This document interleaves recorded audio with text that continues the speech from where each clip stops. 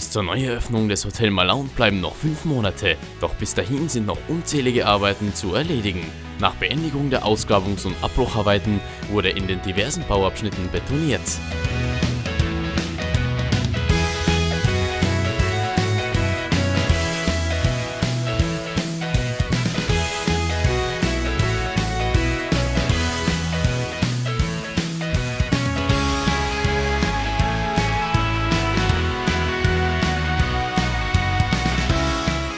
Auch im hinteren Bereich des Hotels, wo das künftige Schwimmbad den Gästen für Spaß und Entspannung sorgen sollte, wurden einige Sicherungsmaßnahmen durchgeführt.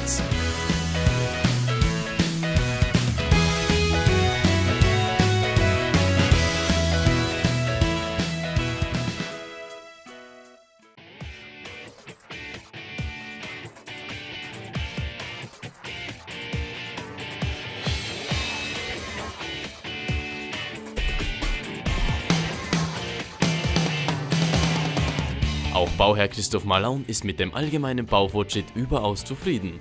Der Baufortschritt ist sehr gut. Wir sind voll im Plan. Die Baufirmen, allen voran die ausführende Firma Swidelski, hat alles gut im Griff. Ja, besser könnte es nicht sein.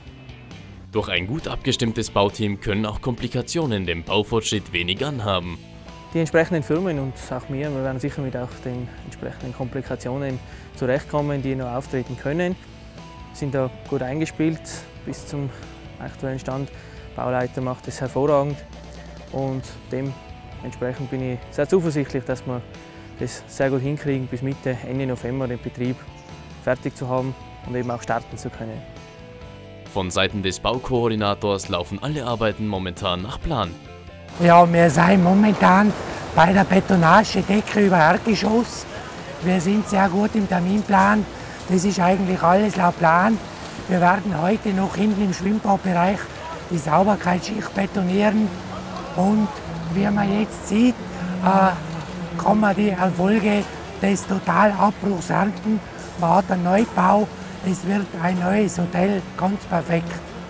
Die kommenden zwei Wochen ist so, dass wir wollen in dieser Zeit äh, bis ins dritte Obergeschoss kommen. Wir werden hinten im Schwimmbadbereich beginnen. Die Abbrucharbeiten sollten in den nächsten zwei Wochen fertig sein und dann kann eigentlich schon die Holzbaufirma kommen und äh, den Holzbau aufstellen. Es steht nach wie vor der Termin, dass wir am 15. August den Firstbaum setzen möchten.